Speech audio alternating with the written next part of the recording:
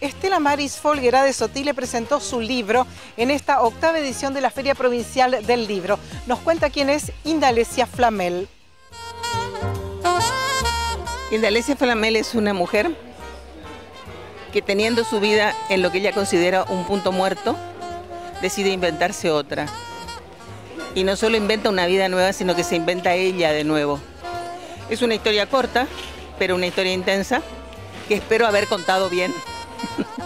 ¿Por qué leerla? Seducí al televidente. Mira, eh, tiene muchos ingredientes atractivos porque transcurre en una época en la que sucedían muchas cosas que la gente recuerda siempre con, el placer de, hurgar, ¿no?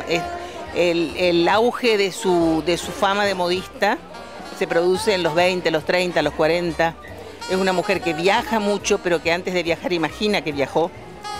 Eh, que, se, que se, codea con lo más importante de la moda en ese momento en Francia, con lo más importante de la plástica en México, y que vuelve a la Argentina y, e inventa un emporio.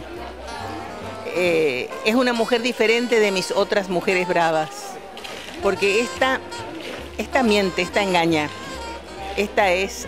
Eh, aquellas se entregaban, se entregaban muy, muy, las minas bravas, por ejemplo, me estoy refiriendo a esos cuentos, eran bravas porque se, entregaban y decían, bueno, allá voy. Esta piensa cada paso que da, esta construye sobre cada, sobre cada error, que no considera error sino aprendizaje, y de todo, de todo, ella busca y encuentra algo que favorezca al proyecto de vida que ella se trazó a partir del momento que decidió clausurar su vida anterior, pero clausurarla hasta el silencio absoluto con sus descendientes. Y hay una tataranieta de ella, no una bisnieta de ella, que encuentra un escritorio que fue de ella, le llama la atención, comienza a mirarlo, comienza a preguntarse cosas y comienza a querer buscar yendo hacia atrás cuáles fueron los secretos que hubo en esa vida, porque se da cuenta de que de esa bisabuela se sabe lo que ella quiso que se supiera y nada más. No encuentra lo que busca, pero la autora se hace cómplice con el lector y le va contando lo que ella no encuentra. Siempre es bueno volver a la Feria del Libro y más para conocer una historia así, para dar a conocer esta historia. La, Feria del Libro tiene un clima que hace que los escritores nos sentamos como como que estamos en un lugar que nos es propio, pese a que en realidad es el lugar del libro. Eh, feria es un lugar donde se viene a comprar libros.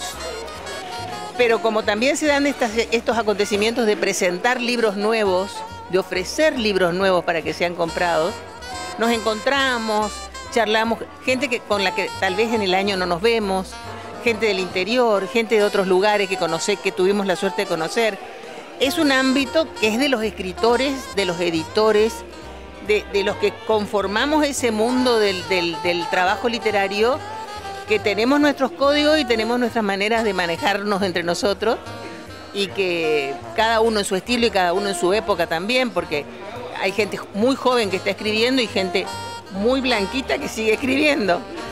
Yo, por ejemplo, voy a presentar mi libro en la sala que lleva por nombre Franco Rivero. Franco Rivero es un chico porque es un muchacho muy joven, que es Premio Nacional de Poesía, correntino. Entonces, e, eso también tiene, tiene, tiene es un condimento más que tiene la feria. El encuentro generacional, el que nosotros escuchemos lo que están escribiendo ellos, que ellos escuchen cómo nosotros, con el lenguaje que usamos, nos ponemos también en la época, que no nos hemos ido del tiempo, es, muy interesante. los encuentros que se dan en esta feria son muy interesantes.